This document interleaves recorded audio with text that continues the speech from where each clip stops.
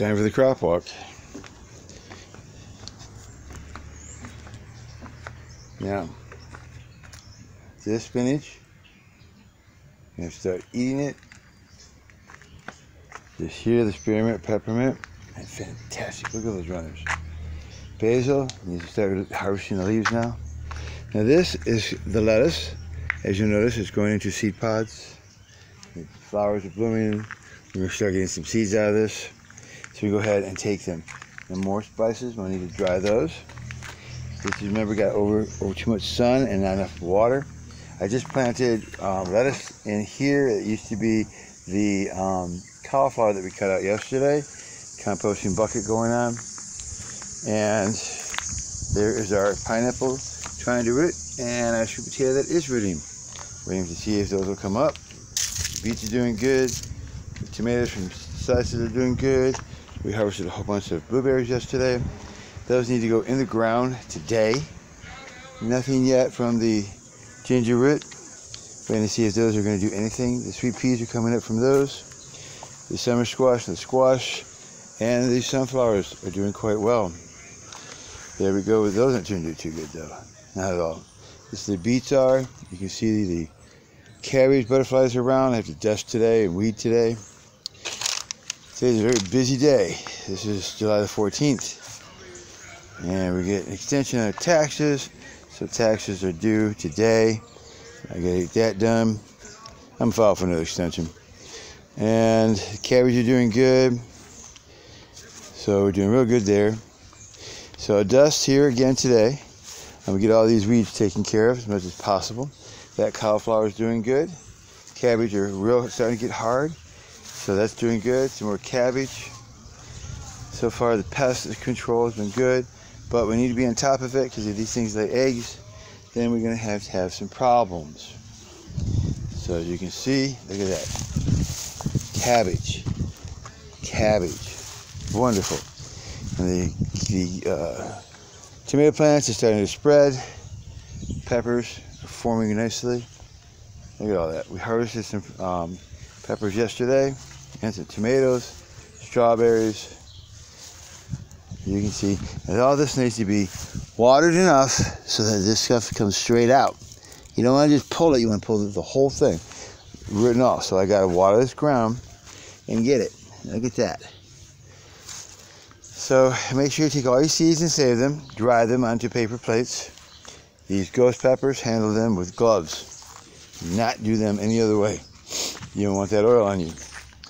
Now these need to be watered. So I'm to be doing watering and weeding today. And then I'm going to be putting some dusting on get that taken care of. So let's see, anything here? Looking to see if there's any bugs at all. I don't see any. So we have to do some fertilization, we do some watering, some weeding, and I'm gonna spend more than a day at this. There's a lot of weeds here, a lot. This here is all planted in something that wasn't even tilled. This is all tilled. So this needs to be mowed down. So I take these buckets out of here, move them, so this can be mowed down. And looking for pests. Now there's that cabbage butterfly. They're actually a pest for your garden. They may be pretty, but they're laying eggs and worms come from them that eat your plants. Okay, here we go. Strawberries. You get all this moved out of the way, get all this chopped down. Doing pretty good there. And see how this droopiness? They need water. So that's when we put the water on these babies, get these taken care of. Now we knew they needed water yesterday. I didn't want to do it yesterday because I wasn't here to watch how much water and I don't want to soak the ground too much because I need to work in it. Look at that, more, more to eat, more to eat. The beans are doing quite nicely, curling up all over there. And look at all that. Now we're going to be doing results here shortly, probably this weekend.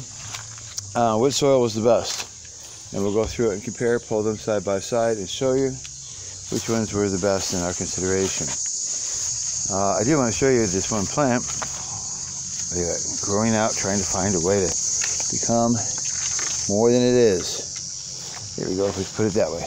Now, want to show you this. Where's that at? we have, is it in this one? I think it is. Oh, there it is. Look at this. We have an eggplant. That's doing quite nicely. Look at that. Eggplant doing very nicely in the bucket. And remember that those are our potatoes right there. So we'll see how they do. And then we have more over here. See how they're doing. So far, so good. This is the damage from the fire. Trying to burn those reeds down. The fire got too hot and I had to move these containers in. So there's been some damage, but you live and you learn. See that? Burned away. There, there was a wild um, grape plant that just takes over everything. Look at all that. Now this here is composting. That was that tomato. I can put over there because I'm going to utilize that. So as you can see, things are doing pretty good. Look at that. Potato flower. Right there. Yeah. This is pretty wild. So I'm going to get the sprinkler out here.